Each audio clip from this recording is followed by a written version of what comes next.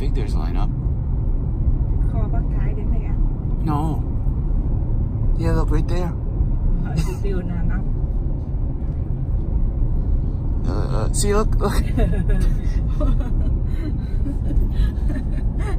what? Whoa.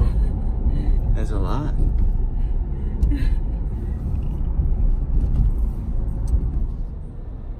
Up there. Holy shit. I Maybe you, walk behind. I told you today free, eh?